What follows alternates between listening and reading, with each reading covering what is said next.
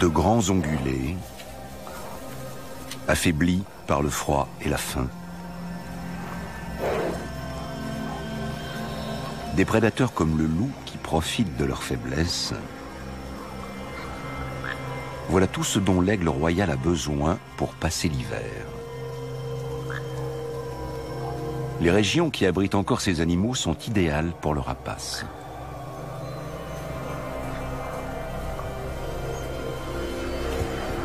En hiver, le fier chasseur se transforme volontiers en charognard. Il se contente alors de ce que les autres prédateurs lui laissent. D'habitude, l'aigle royal ne cède pas aussi rapidement sa place à un congénère. D'ailleurs, celui-ci ne paraît pas tellement intéressé par la nourriture.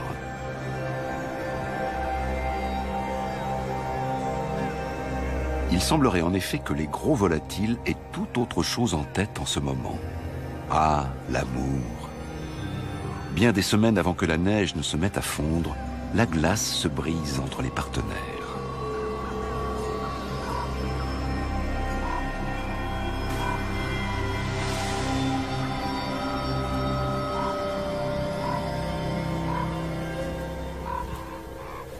Vont s'accoupler jusqu'à 20 reprises avant que la femelle ne ponde au début du mois d'avril.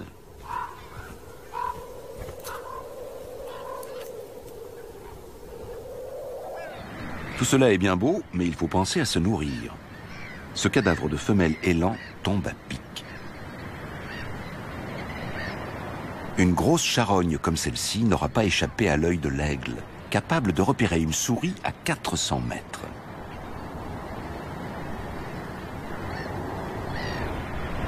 Mieux vaut arriver le premier sur les lieux. Il peut ainsi s'assurer des meilleurs morceaux et des plus gros, à condition que personne ne vienne l'interrompre. Car avant d'accéder à la chair si prisée, il faut percer l'épais pelage hivernal de l'élan. L'aigle y perd un temps précieux.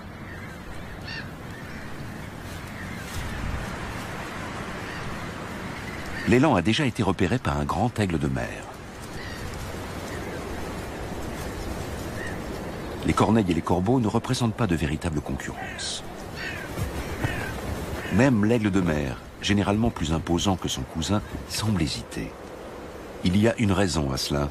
Chez les deux espèces, les mâles sont plus petits que les femelles. Lorsqu'un aigle de mer mâle est face à un aigle royal femelle, la différence est à peine perceptible. Et elle ne suffit pas à inspirer le respect.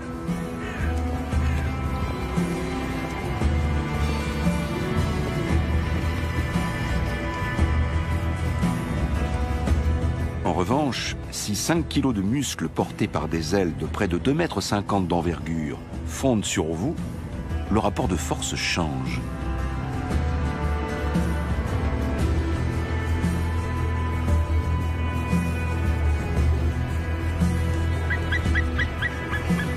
Grand aigle de mer femelle est le plus grand rapace d'Europe. Sur les côtes de l'Atlantique Nord, l'aigle royal doit partager son territoire avec son rival.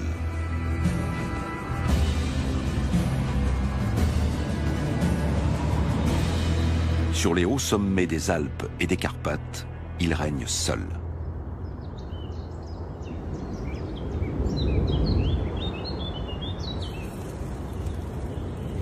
En altitude aussi, le printemps finit toujours par arriver.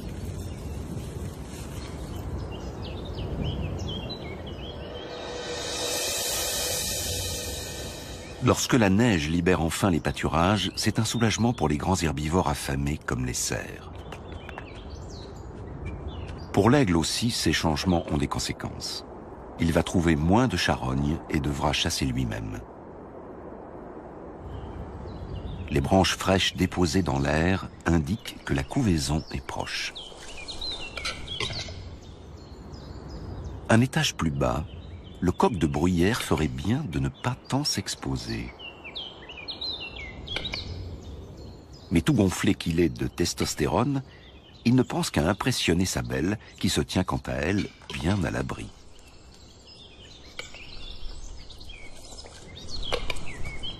En fin de compte, même chez le coq, la prudence finit par l'emporter.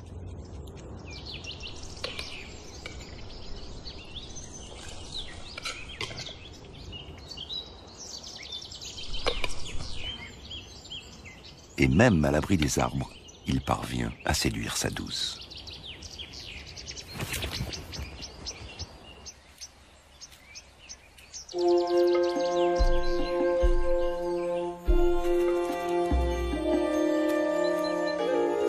Le campagnol des bois doit aussi se méfier des aigles.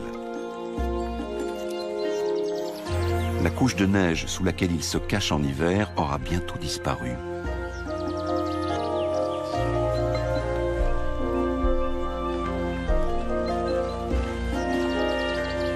La plume enfouie sous la neige montre bien que les aigles étaient déjà présents l'année passée. Fort heureusement, les forêts de montagne où l'on trouve de telles plumes sont de plus en plus nombreuses. Dans les Alpes, par exemple, on recense à nouveau 1300 couples d'aigles royaux.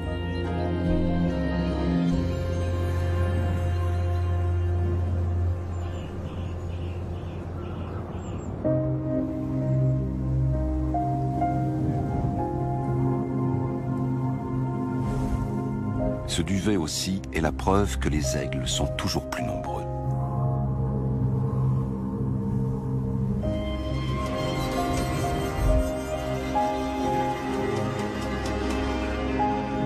coq de bruyère a été victime de son ardeur et a perdu toute prudence. Même si avec près de 5 kilos, il pèse presque autant que la femelle de l'aigle, cela ne le protège pas de ses attaques. L'aigle royal revient régulièrement vers sa proie et la dévore jusqu'à la dernière miette.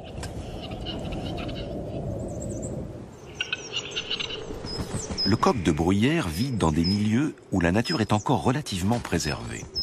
En effet, il est très exigeant quant à la qualité de son environnement.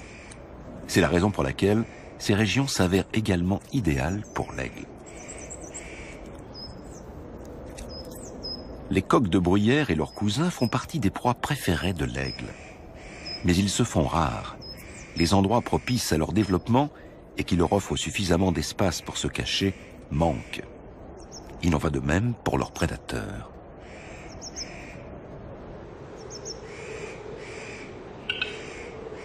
L'un comme l'autre sont venus s'installer dans la montagne bien malgré eux.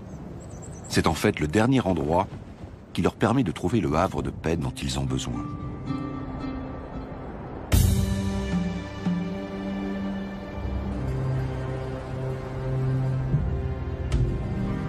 Autrefois, l'aigle royal régnait sur des paysages tous plus différents les uns que les autres. Les montagnes et les plaines, les forêts et les steppes. Depuis quelques centaines d'années, son royaume se limite au sommet, mais il n'a pas perdu son titre de roi des airs. La parade nuptiale des aigles débute avec des vols en feston à des allures infernales. Leur numéro de bravoure commence à l'hiver. Il s'agit de séduire leur partenaire avant la période d'accouplement qui approche.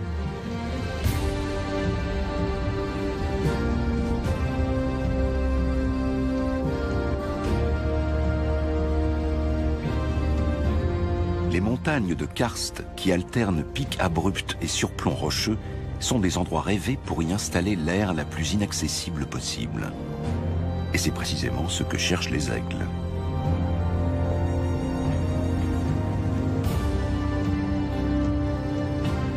L'altitude idéale doit permettre à une aire d'être à l'abri des importuns, tout en restant accessible quand il s'agit d'y rapporter de lourdes proies.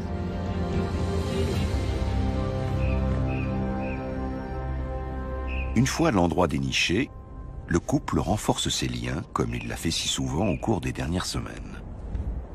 Le mâle et la femelle vont passer toute leur vie ensemble, jusqu'à ce que la mort les sépare.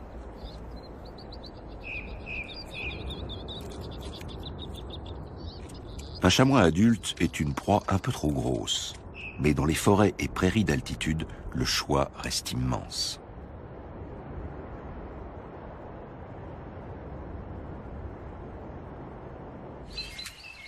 Un couple a installé son air dans un vieux sapin. Le mâle couve l'unique œuf que sa partenaire a pondu il y a quelques jours. Il s'installe avec beaucoup de précautions pour éviter que l'œuf ne cède sous son poids de près de 4 kilos.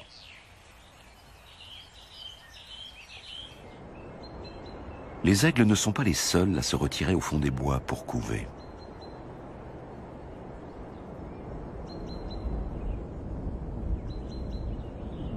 Dans la vallée voisine, suffisamment à l'écart pour être à l'abri, une cigogne noire plane jusqu'à son nid.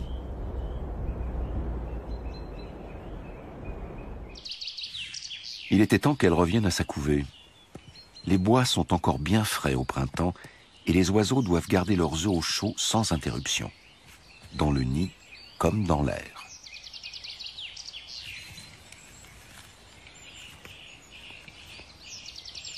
Ils retournent inlassablement leurs œufs. Peu importe leur différence, tous les oiseaux se livrent aux mêmes tâches au moment de couver. Ils s'assurent du bon capitonnage et de la bonne isolation du nid afin d'éviter une trop grande perte de chaleur au moment où les adultes viennent s'y relayer.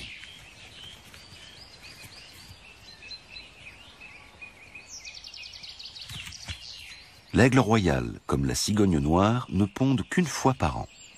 Cela rend la couvée d'autant plus précieuse. L'observation d'oiseaux en totale liberté nous renseigne sur certaines de leurs particularités. L'aigle mâle, reconnaissable à sa bague, échange régulièrement sa place contre celle de sa partenaire. La couvaison n'est donc pas l'apanage de la femelle. Celle-ci patiente à proximité de l'air et y retourne dès que le mâle s'en est allé.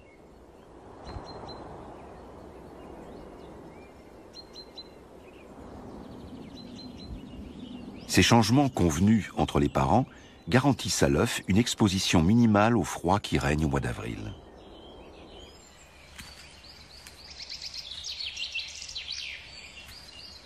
Les aigles vont devoir persévérer dans cette routine pendant six longues semaines, jour et nuit, jusqu'à l'éclosion.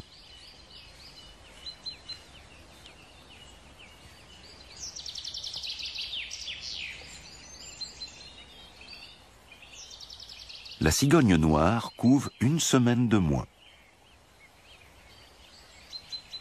À l'étage du dessous, la chouette chevêchette est un peu en retard. Elle vient tout juste de terminer la chambre des petits.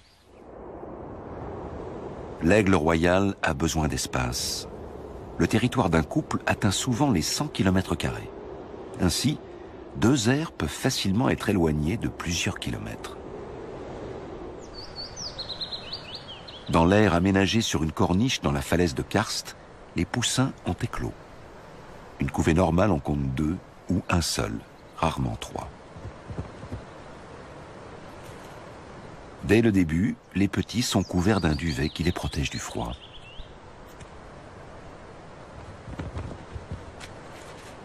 Cette fois, la femelle ne rapporte que des branches. Même après l'éclosion, elle n'aura de cesse de consolider son nid. Ainsi, au fil des semaines, l'air va être de plus en plus large et haute. Pendant ce temps, le mâle tente de repérer des proies.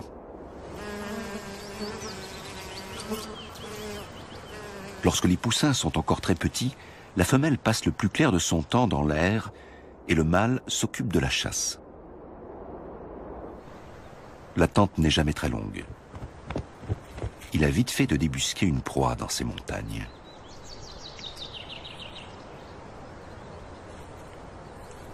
Il ne s'attarde pas pour autant dans l'air.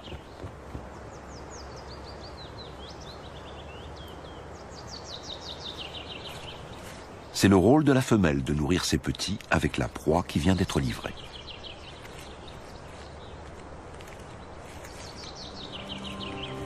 la moitié des aigles européens installent son aire sur une falaise.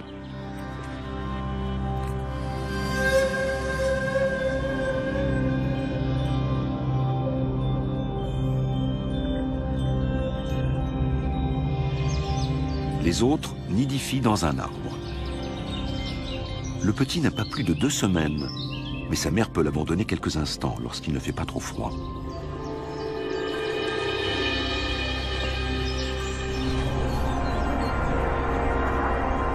Elle a quelques pigeons domestiques dans le collimateur.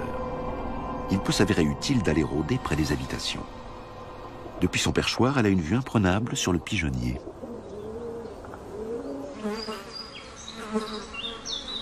L'aiglon est harcelé par les mouches qui perturbent aussi le sommeil de la chouette.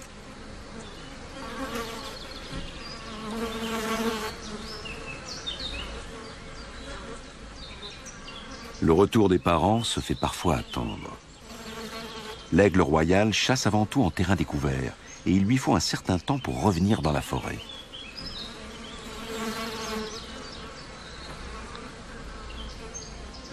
La femelle est toujours à l'affût.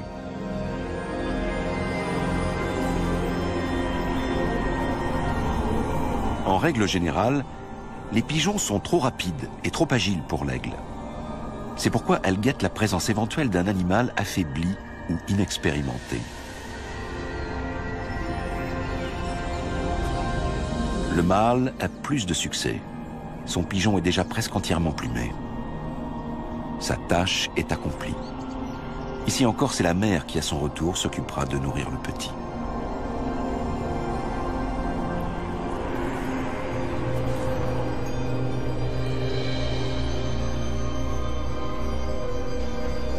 Femelle abandonne.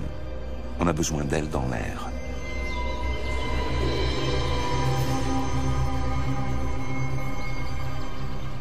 La présence du gros rapace inquiète la minuscule chouette chevêchette. L'oisillon mourrait de faim à côté de la proie sans l'aide de sa mère. Celle-ci découpe des portions adaptées à la taille du bec, même s'il lui arrive parfois de perdre le sens de la mesure.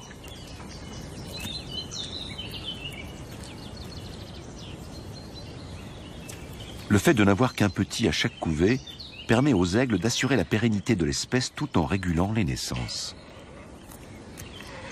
L'air mesure un mètre et demi de diamètre et près d'un mètre de haut. Pourtant, dissimulée dans la forêt dense qui la protège des regards, elle est difficilement repérable. C'est une stratégie qu'utilisent aussi les cigognes dont le nid imposant est à peine plus petit que celui des aigles. Ce ne sont pas moins de trois cigogneaux insatiables qui y attendent leur repas. Au menu des aigles, de la viande fraîche et crue.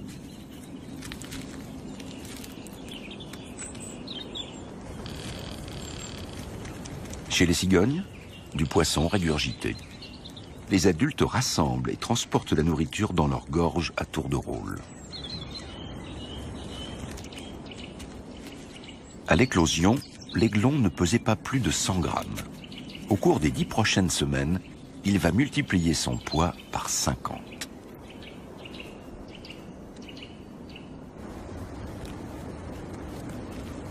Heureux ceux qui peuvent s'amuser entre frères et sœurs. L'oisillon unique doit se contenter de sa mère.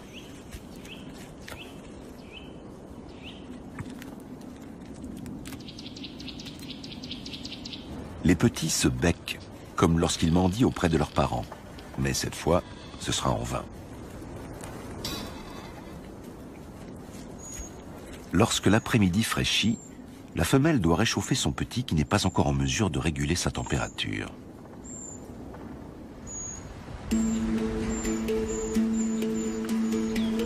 Bien camouflé, un grain pro des bois est en quête d'insectes.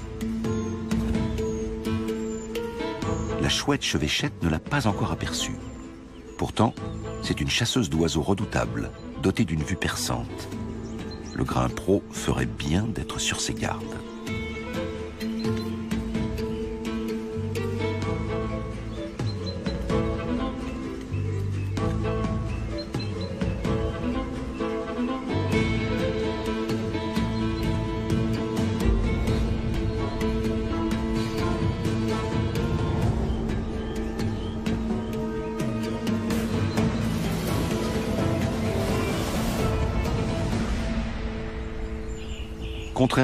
Aux autres chouettes, la chevêchette chasse de jour, puisque ses proies, les passereaux, sont diurnes. Il lui en faudra environ 200 pour subvenir aux besoins de sa couvée qui compte sept petits.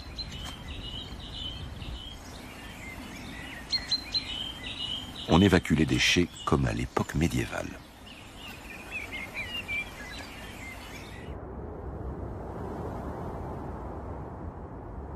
Lorsqu'elle transporte des charges lourdes, la femelle aigle utilise les courants ascendants avec beaucoup d'habileté.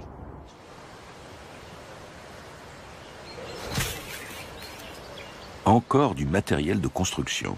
Elle n'en finit plus de bricoler.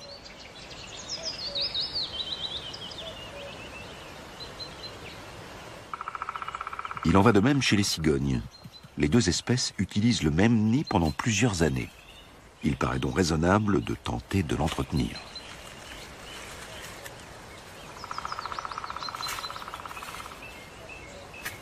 Certains biologistes prétendent que les branches bien feuillues aurait des vertus antiseptiques. Cette théorie n'a toutefois pas encore été vérifiée. Un petit est mort dans le nid des voisins aux longues pattes. Seuls deux cigogneaux ont survécu. De son côté, l'aiglon s'est bien développé. Ce n'est pas étonnant, après tout, il a sa mère tout à lui. Enfin, lorsqu'elle n'est pas occupée à bricoler.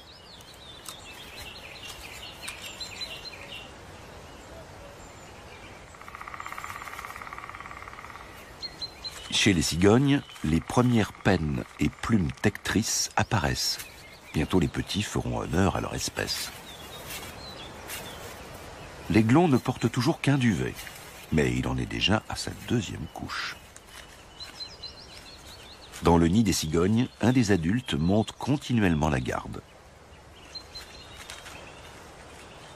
La femelle aigle, quant à elle, quitte l'air de plus en plus souvent. La nourriture rapportée par le mâle suffit à peine pour le petit. Il lui faut donc chasser aussi.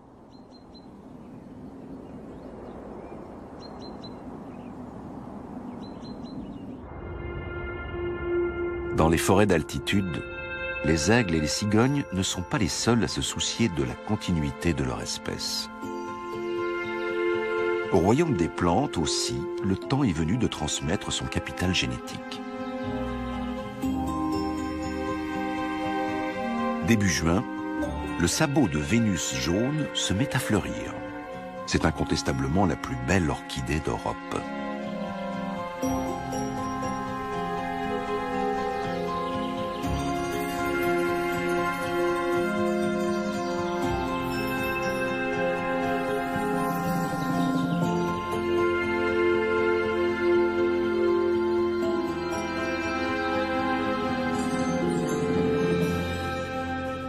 Ces plantes très protégées se font rares. Dans les endroits où elles fleurissent encore et où l'aigle royal nidifie, la nature est plus ou moins préservée. Pour le mâle, la chasse a été fructueuse, mais le petit est déjà rassasié. Dans le cas contraire, il se serait immédiatement mis à mendier.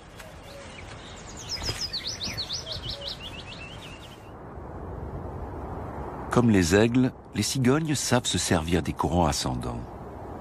Avec des ailes de plus d'un mètre cinquante d'envergure, elles peuvent parcourir jusqu'à 10 km en quête de nourriture. Les grenouilles et les poissons dont elles nourrissent leurs petits ne sont pas si faciles à trouver dans une forêt.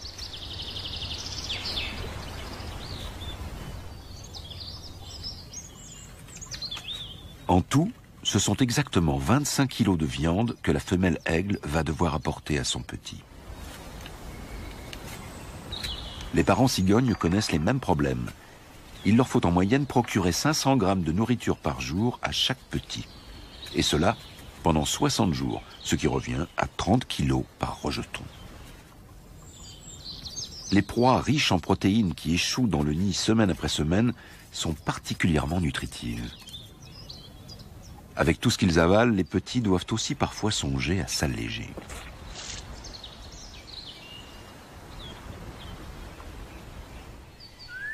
En conséquence, on voit pousser autour du nid des plantes avides de nutriments, comme les orties, que les déjections et les restes alimentaires finissent de fertiliser. Cela convient tout particulièrement aux vulcains. En effet, la chenille de ce papillon se nourrit exclusivement d'orties.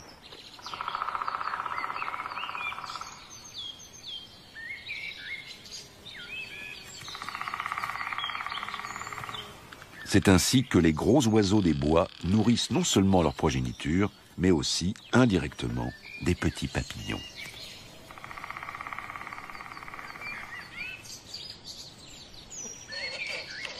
Après plusieurs semaines de grosse chaleur, un changement s'annonce.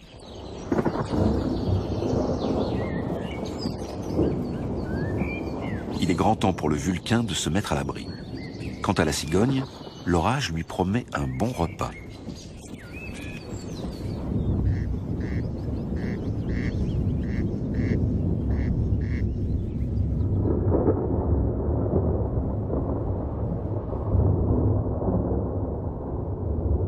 Rien n'empêche l'aigle royal de chasser, pas même une averse.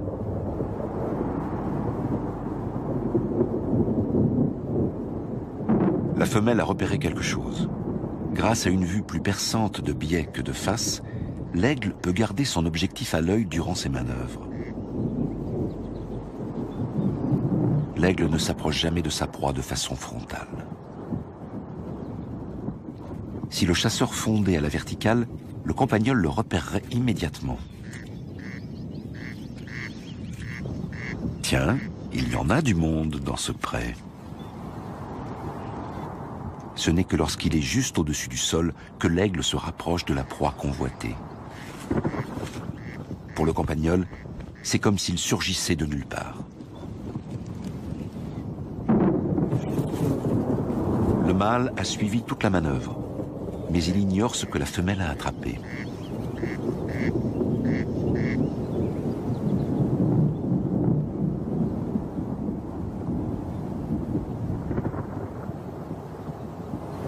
Autant aller vérifier.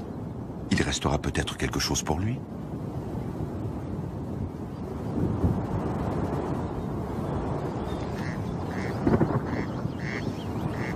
Le constat est plutôt décevant.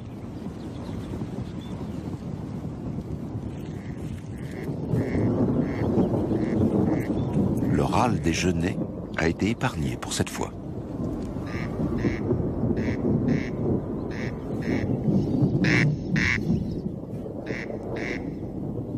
Ces oiseaux marquent leur territoire en criant.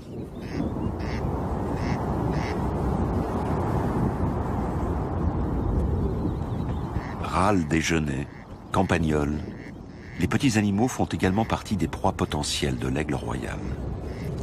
Celui-ci se contente de ce qu'il trouve, avec une préférence certaine pour les animaux de taille moyenne, comme les lièvres, les marmottes, les volailles, voire les fans ou les petits chamois. Approche. Les aiglons sont bien à l'abri dans l'air. La falaise les protège de la pluie et du vent.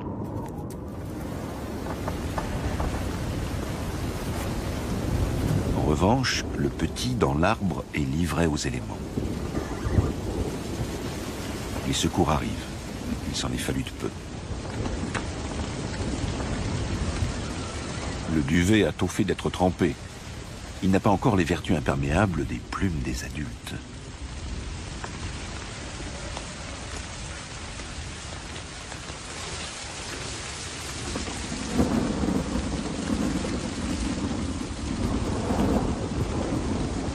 Le petit, qui a presque atteint la taille d'une poule, n'a plus vraiment la place de se tenir sous le ventre de sa mère.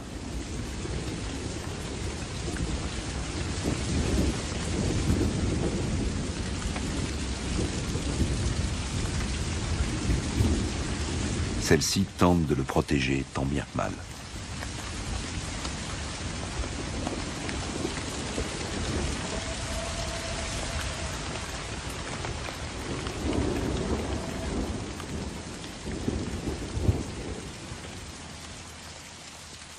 Mais même la plus terrible des averses a une fin.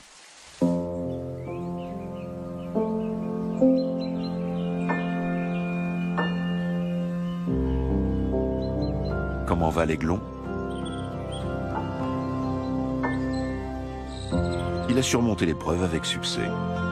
Ce n'est pas toujours le cas. Certaines années très pluvieuses voient de nombreux aiglons périr dans leur nid. Mais le vent et la pluie ne sont pas seuls responsables de la diminution du nombre d'aigles depuis quatre siècles en Europe. Il y a 400 ans, les oiseaux de proie dominaient encore les airs sur presque tout le continent.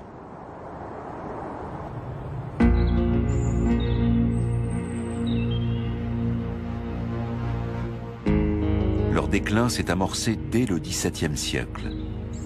Ils ont d'abord disparu de la forêt de Thuringe et des monts métallifères, et le siècle suivant, du Harz et du Jura.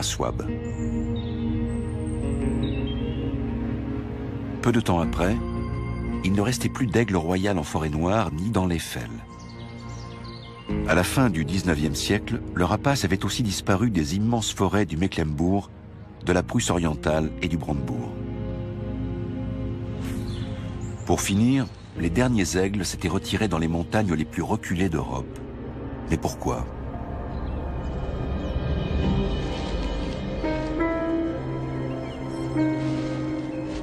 Pendant des centaines d'années, les aigles ont été pourchassés sans relâche par l'homme.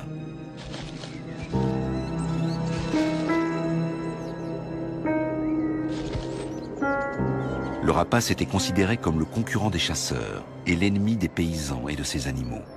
Il fallait qu'ils disparaissent, comme le loup, l'ours et le lynx.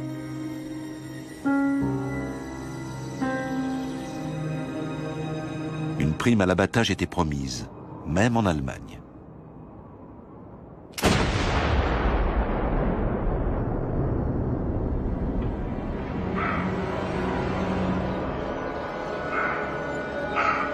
Les choses ont bien changé. Aujourd'hui, les rapaces sont strictement protégés et le braconnage est rare. Mais au lieu des aigles, ce sont les bûcherons qui ont envahi nos forêts. D'abord avec des haches et des scies, et ensuite avec des machines toujours plus grosses et plus performantes.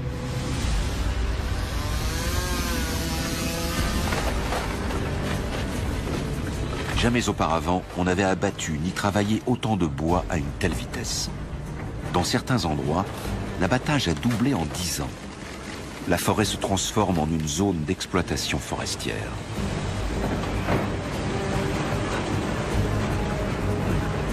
Les arbres se sont inclinés face aux machines. La forêt ancestrale, riche en essences variées, cède la place à la monoculture qui appauvrit les sols.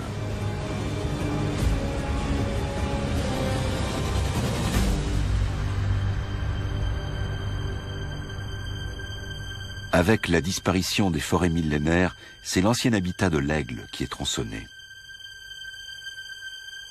On adopte désormais une approche différente et dans certaines montagnes, le nombre d'aigles augmente à nouveau. Mais il faudra encore bien de la patience avant de voir réapparaître un aigle dans ces forêts.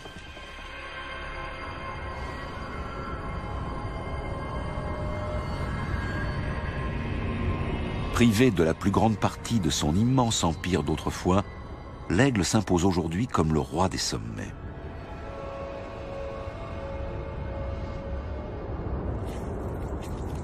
Deux bons mois après leur naissance, les aiglons nichés dans la falaise ont énormément grandi. Grâce à leur serre puissante, ils vont pouvoir attraper et tuer leur proie. Mais pour le moment, ils ne savent pas encore s'en servir. Une chance pour le petit visiteur.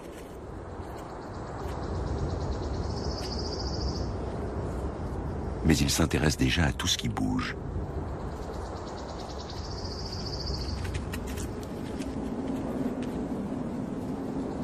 Ils ont appris à soigner leur plumage.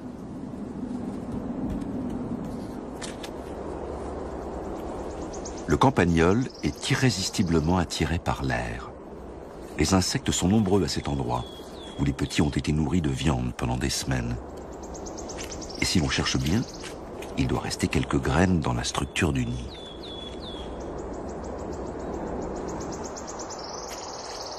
C'est un véritable pays de cocagne pour cet omnivore. Et pour l'aiglon qui ne s'est pas endormi en attendant le prochain repas, au moins il y a un peu d'animation.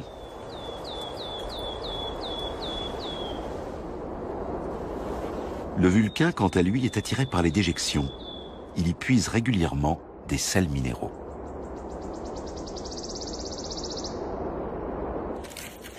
L'endroit est si accueillant que le campagnol élève ses petits juste sous l'air.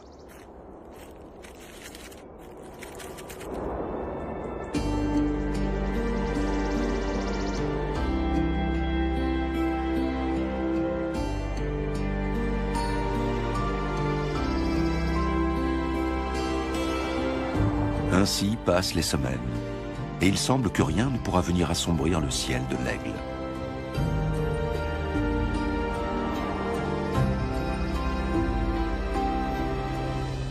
Mais dans les montagnes, les choses évoluent rapidement.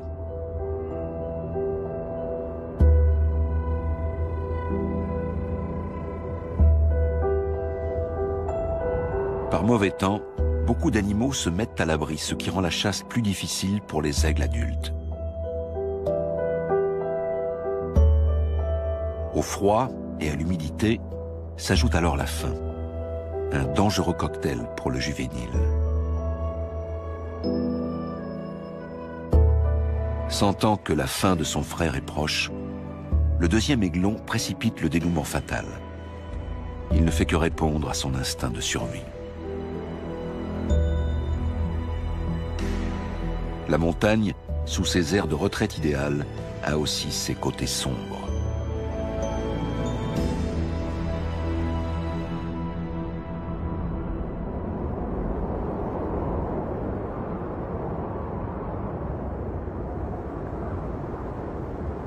Aucune amélioration des conditions climatiques n'est à prévoir. Les parents reviennent inlassablement bredouilles. Ils n'ont plus que le cadavre de leur petit comme seule nourriture. Ce genre de comportement n'est pas rare chez les rapaces. Il n'y a pas de place pour la pitié dans leur monde. Il s'agit d'insuffler toute l'énergie possible à l'aiglon survivant, pour que tous les efforts fournis pendant la couvée n'aient pas été vains.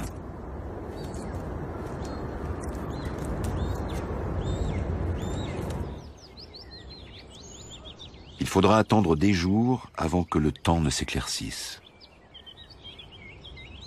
Ce qui a été vécu comme une véritable catastrophe par les uns est un don du ciel pour les autres.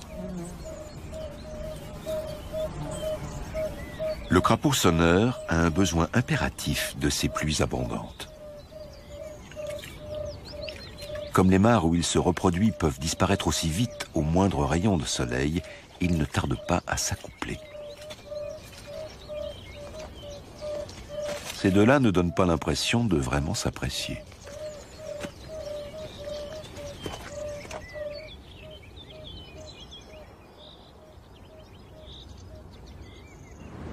Après neuf semaines passées dans le nid douillet, le temps est venu pour le juvénile de le quitter.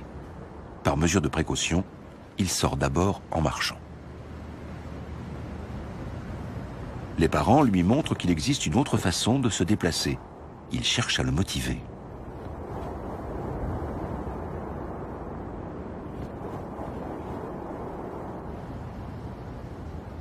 Il aimerait pouvoir en faire autant.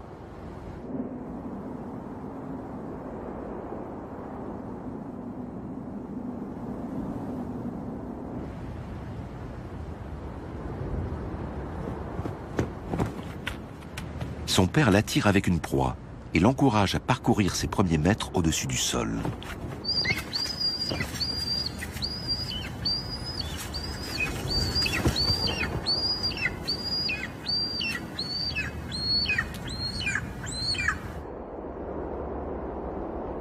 S'envoler vers la liberté et aller de l'avant.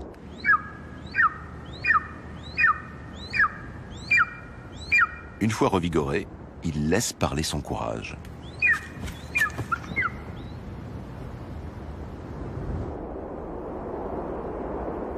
Pendant cinq mois environ, le juvénile va sillonner le même territoire que ses parents. Pour de nombreux jeunes animaux, commence à présent le temps de l'exploration. Au fond d'un terrier, une portée de jeunes renards somnolent.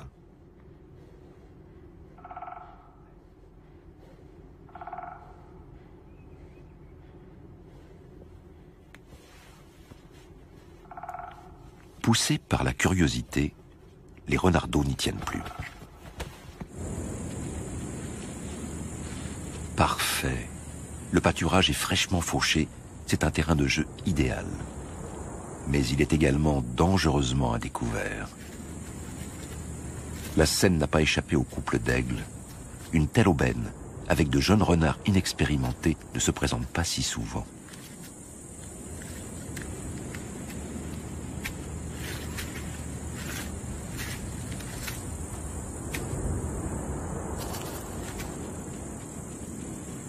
La renarde ne retrouvera pas tous ses petits dans le terrier. Les aigles adultes n'apportent plus la nourriture au nid. Ils veulent attirer le petit à eux. Cette stratégie paye. Poussé par la faim, l'aiglon est appâté par les restes.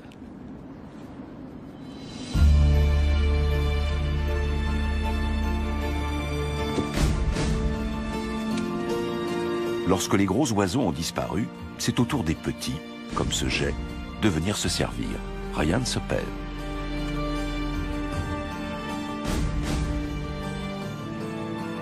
L'aiglon de la forêt va encore être pris en charge par ses parents pendant de longues semaines.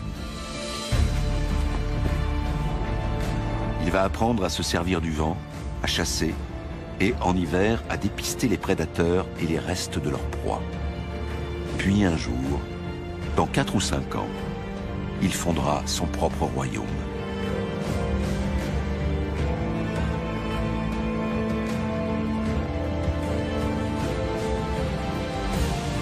Les cigognos aussi s'élèvent dans les airs.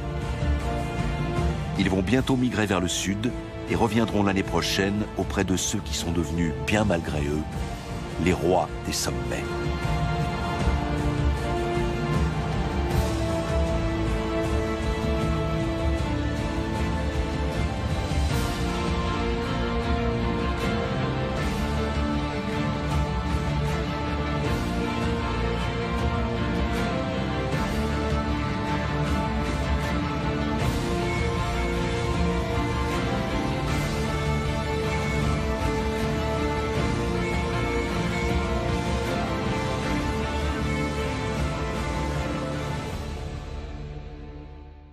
Sans l'aide de sa mère. Celle-ci découpe des portions adaptées à la taille du bec, même s'il lui arrive parfois de perdre le sens de la mesure.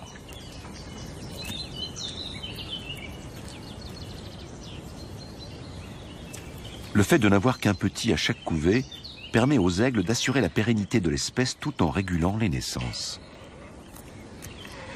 L'air mesure un mètre et demi de diamètre et près d'un mètre de haut.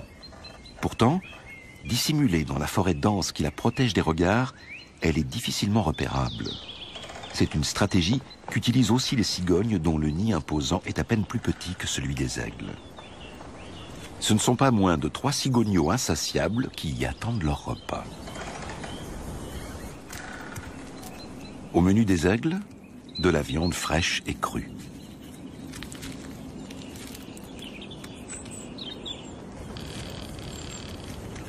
Chez les cigognes, du poisson régurgité. Les adultes rassemblent et transportent la nourriture dans leur gorge à tour de rôle. À l'éclosion, l'aiglon ne pesait pas plus de 100 grammes. Au cours des dix prochaines semaines, il va multiplier son poids par 50.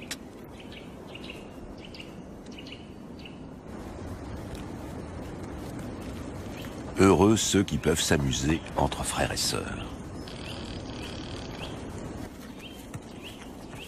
L'oisillon unique doit se contenter de sa mère.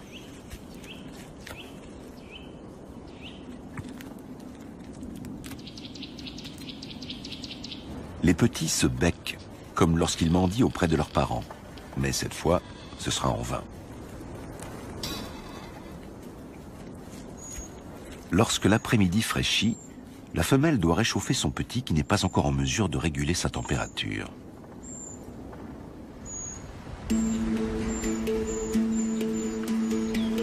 Bien camouflé, un pro des bois est en quête d'insectes.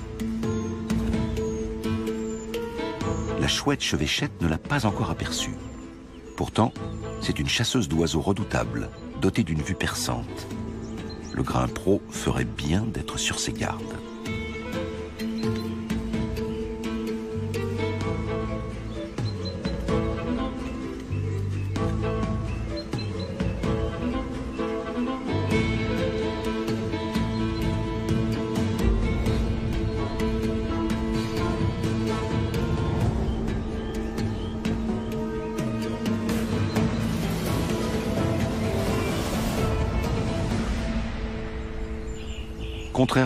Autres chouettes, la chevêchette chasse de jour, puisque ses proies, les passereaux, sont diurnes. Il lui en faudra environ 200 pour subvenir aux besoins de sa couvée qui compte 7 petits.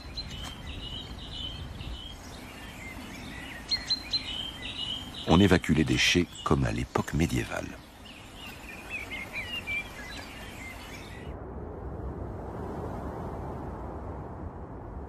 Lorsqu'elle transporte des charges lourdes, la femelle aigle utilise les courants ascendants avec beaucoup d'habileté.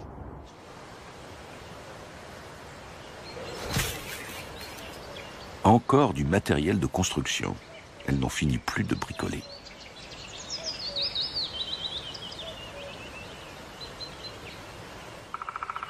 Il en va de même chez les cigognes. Les deux espèces utilisent le même nid pendant plusieurs années. Il paraît donc raisonnable de tenter de l'entretenir.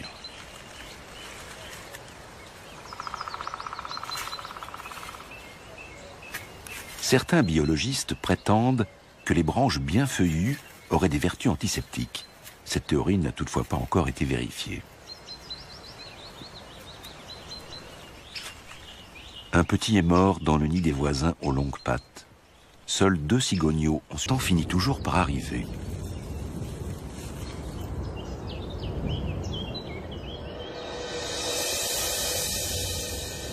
Lorsque la neige libère enfin les pâturages, c'est un soulagement pour les grands herbivores affamés comme les cerfs. Pour l'aigle aussi, ces changements ont des conséquences. Il va trouver moins de charognes et devra chasser lui-même. Les branches fraîches déposées dans l'air indiquent que la couvaison est proche.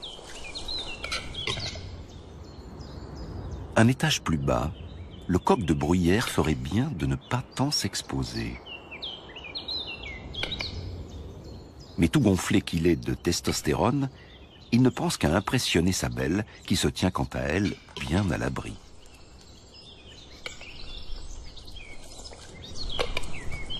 En fin de compte, même chez le coq, la prudence finit par l'emporter.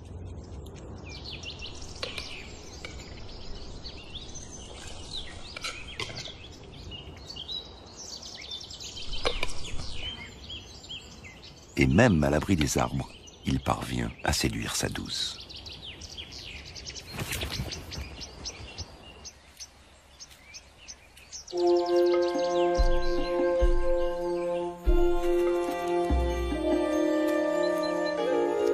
Le campagnol des bois doit aussi se méfier des aigles. La couche de neige sous laquelle il se cache en hiver aura bientôt disparu.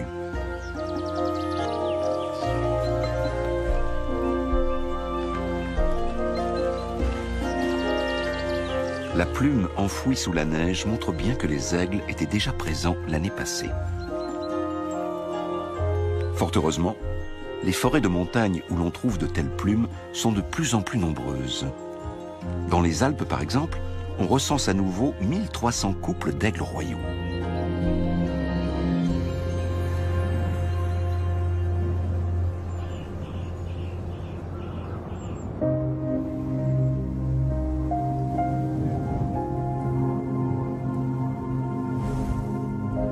Aussi est la preuve que les aigles sont toujours plus nombreux.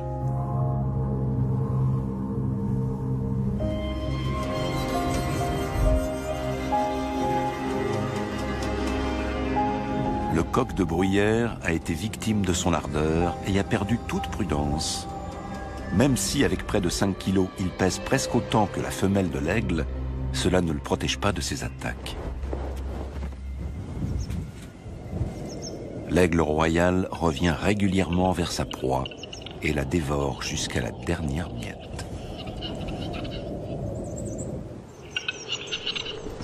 Le coq de bruyère vit dans des milieux où la nature est encore relativement préservée. En effet, il est très exigeant quant à la qualité de son environnement. C'est la raison pour laquelle ces régions s'avèrent également idéales pour l'aigle. Les coqs de bruyère et leurs cousins font partie des proies préférées de l'aigle. Mais ils se font rares. Les endroits propices à leur développement et qui leur offrent suffisamment d'espace pour se cacher manquent. Il en va de même pour leurs prédateurs.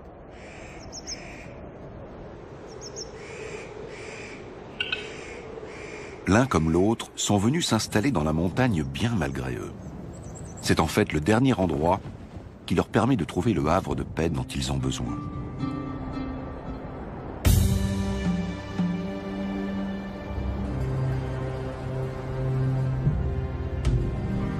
Autrefois, l'aigle royal régnait sur des paysages tous plus différents les uns que les autres. Les montagnes et les plaines, les forêts et les steppes. Depuis quelques centaines d'années, son royaume se limite au sommet. Mais il n'a pas perdu son titre de roi des airs. La parade nuptiale des aigles débute avec des vols en feston à des allures infernales. Leur numéro de bravoure commence à l'hiver. Il s'agit de séduire leurs partenaires avant la période d'accouplement qui approche.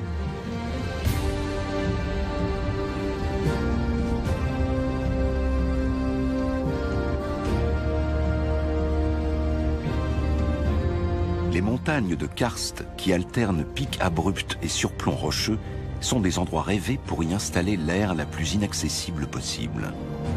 Et c'est précisément ce que cherchent les aigles.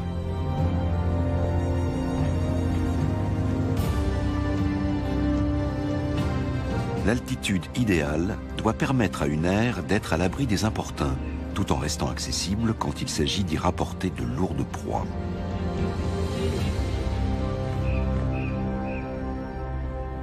Une fois l'endroit déniché, le couple renforce ses liens, comme il l'a fait si souvent au cours des dernières semaines. Le mâle et la femelle vont passer toute leur vie ensemble, jusqu'à ce que la mort les sépare.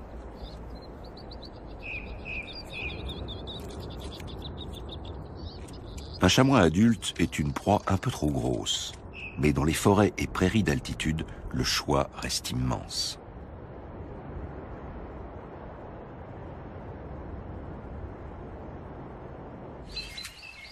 Un couple a installé son air dans un vieux sapin. Le mâle couvre l'unique œuf que sa partenaire a pondu il y a quelques jours. Il s'installe avec beaucoup de précautions pour éviter que l'œuf ne cède sous son poids de près de 4 kilos.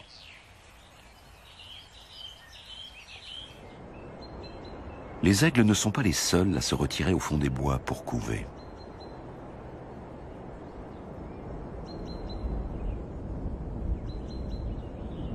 Dans la vallée voisine, suffisamment à l'écart pour être à l'abri, une cigogne noire plane jusqu'à son nid.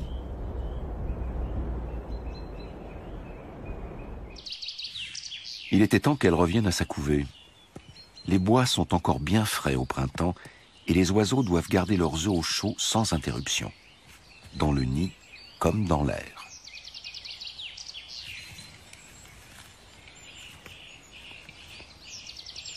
Ils retournent inlassablement leurs œufs. Peu importe leur différence, tous les oiseaux se livrent aux mêmes tâches au moment de couver. Ils s'assurent du bon capitonnage et de la bonne isolation du nid afin d'éviter une trop grande perte de chaleur au moment où les adultes viennent s'y relayer.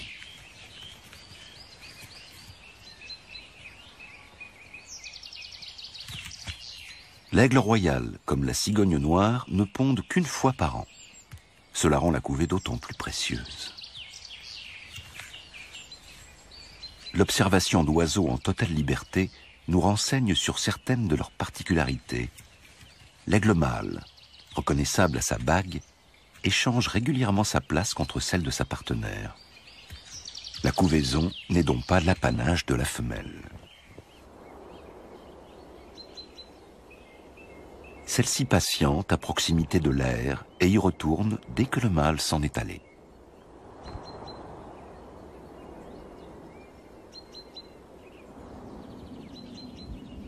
Ces changements convenus entre les parents garantissent à l'œuf une exposition minimale au froid qui règne au mois d'avril.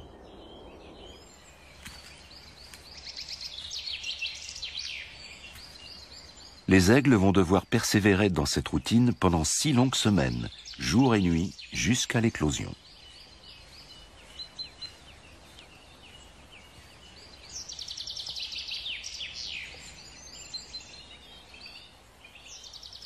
la cigogne noire couve une semaine de moins.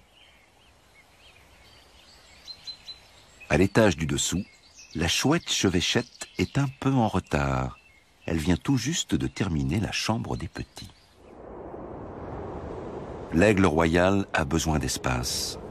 Le territoire d'un couple atteint souvent les 100 km. Ainsi, deux aires peuvent facilement être éloignées de plusieurs kilomètres.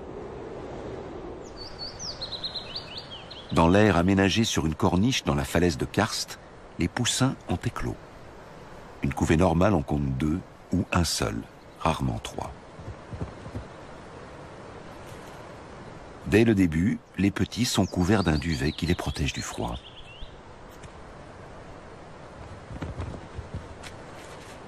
Cette fois, la femelle ne rapporte que des branches. Même après l'éclosion, elle n'aura de cesse de consolider son nid. Ainsi, au fil des semaines, l'air va être de plus en plus large et haute. Pendant ce temps, le mâle tente de repérer des proies.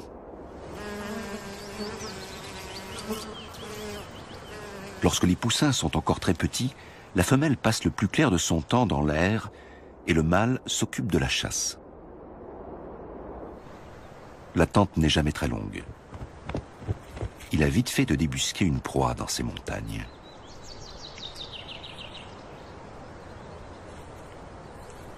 Il ne s'attarde pas pour autant dans l'air.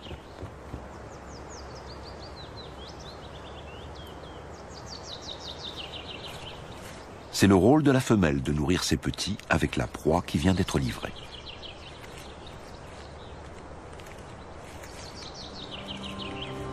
la moitié des aigles européens installent son aire sur une falaise.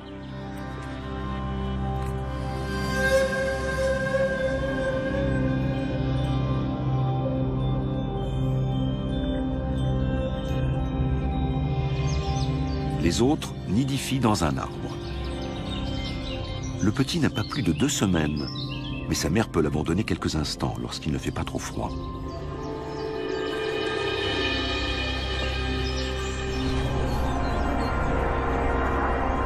elle a quelques pigeons domestiques dans le collimateur.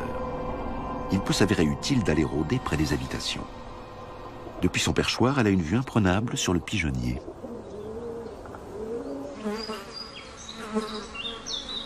L'aiglon est harcelé par les mouches qui perturbent aussi le sommeil de la chouette.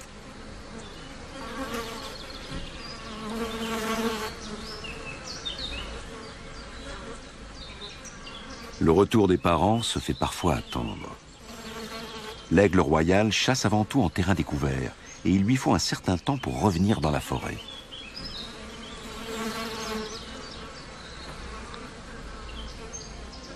La femelle est toujours à l'affût.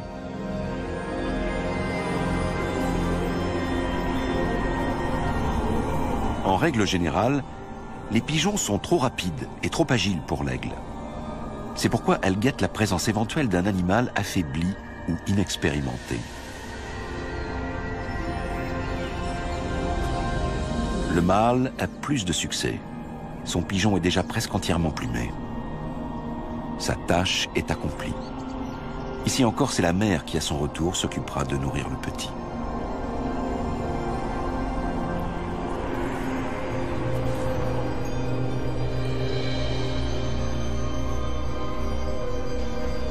La femelle abandonne. On a besoin d'elle dans l'air.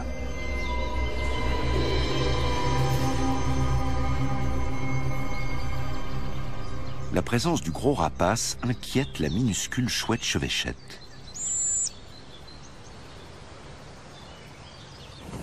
L'oisillon mourrait de faim à côté de la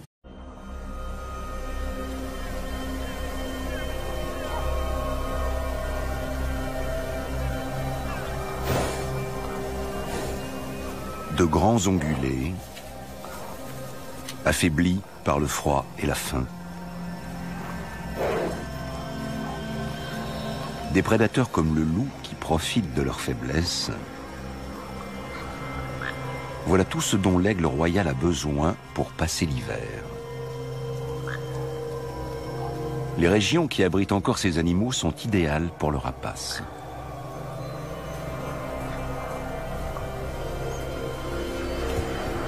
En hiver, le fier chasseur se transforme volontiers en charognard. Il se contente alors de ce que les autres prédateurs lui laissent. D'habitude, l'aigle royal ne cède pas aussi rapidement sa place à un congénère. D'ailleurs, celui-ci ne paraît pas tellement intéressé par la nourriture.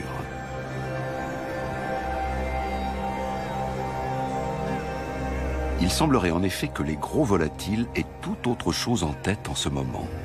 Ah, l'amour. Bien des semaines avant que la neige ne se mette à fondre, la glace se brise entre les partenaires.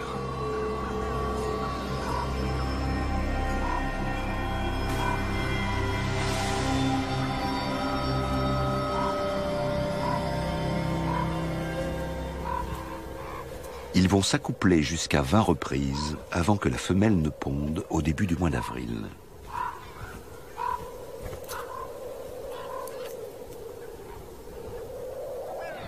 Tout cela est bien beau, mais il faut penser à se nourrir.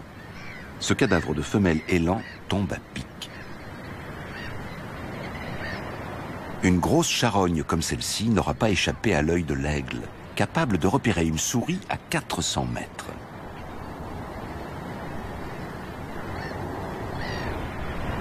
Mieux vaut arriver le premier sur les lieux. Il peut ainsi s'assurer des meilleurs morceaux et des plus gros, à condition que personne ne vienne l'interrompre. Car avant d'accéder à la chair si prisée, il faut percer l'épais pelage hivernal de l'élan. L'aigle y perd un temps précieux.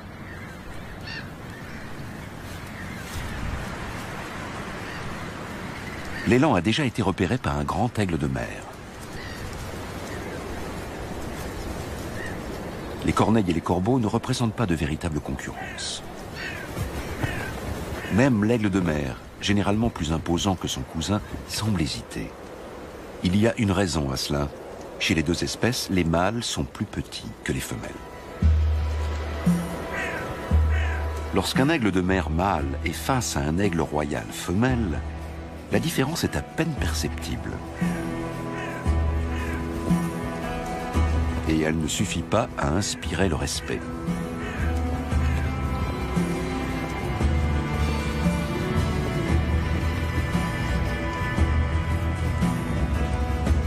En revanche, si 5 kilos de muscles portés par des ailes de près de 2,50 m d'envergure fondent sur vous, le rapport de force change.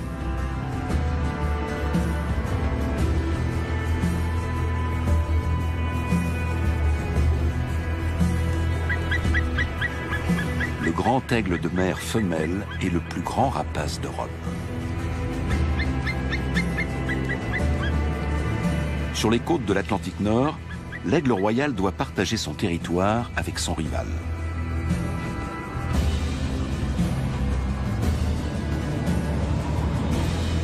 Sur les hauts sommets des Alpes et des Carpates, il règne seul.